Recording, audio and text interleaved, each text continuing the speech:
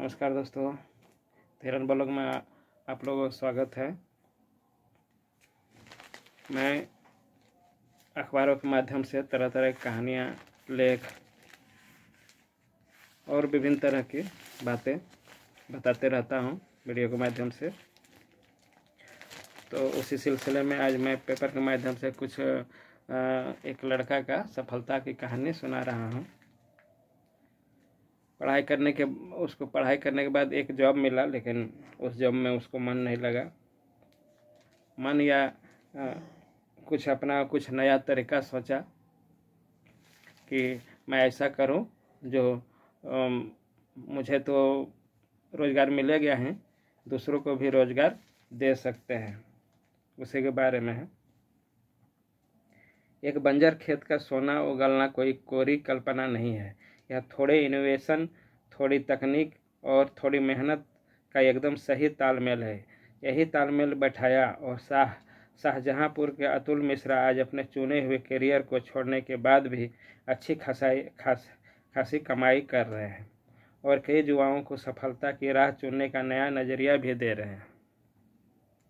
उत्तर प्रदेश में शाहजहाँपुर के चिलहुआ गाँव के रहने वाले अतुल मिश्रा ने चेन्नई से कंप्यूटर साइंस में बीटेक किया है। एक समाचार एजेंसी से बातचीत में उन्होंने बताया कि पढ़ाई पूरी करने के बाद उन्होंने फैसला किया कि वह शानदार सैलरी वाली नौकरी के बजाय अपने गाँव में कुछ ऐसा करेंगे जिसमें वह अपने आसपास के अधिकतर लोगों का भला कर सके और कुछ ऐसा जिसमें, जिससे उनके गाँव को भी पहचान मिले।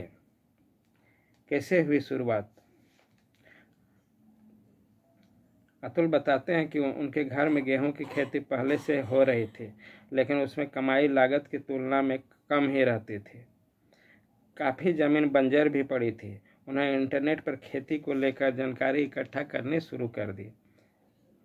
शुरू की और काफ़ी सोच समझने के बाद निर्णय किया कि वह ड्रैगन फ्रूट की खेती करेंगे। ड्रैगन फ्रूट होता है, फल होता है। दोस्तों, बहुत महँगा फल है।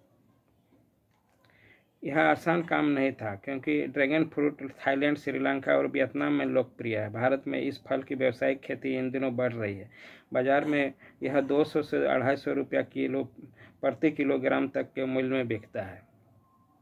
अतुल ने खेती के लिए परिवार की बंजर ज़मीन को चुना। खेती में उन्होंने कई देसी तरीके अपनाए हैं।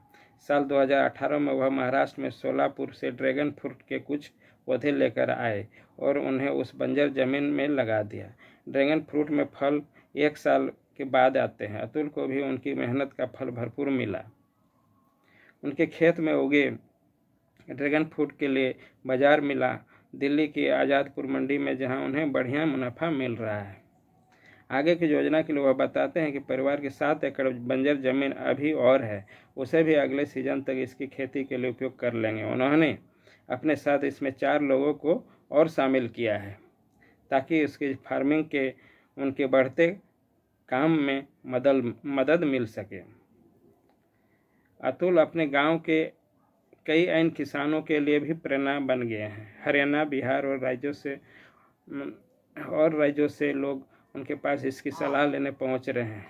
अतुल कहते हैं, जो लोग मेरे पास इसके पौधे खरीदने आते हैं, मैं उन्हें, उसे उगाने के टिप्स भी देता हूँ। देखिए दोस्तों, उसका भी एक जुनून था कि मैं कुछ करूँ, ऐसा नया काम करूँ, जैसे कुछ बेरोजगारों को रोज़गार भी दे सके। ठीक है दोस्तों, कैसा लगा? कमेंट करके बताइएगा और लाइक एंड सब्सक्राइब कर दीजिएगा। ठीक है दोस्तों।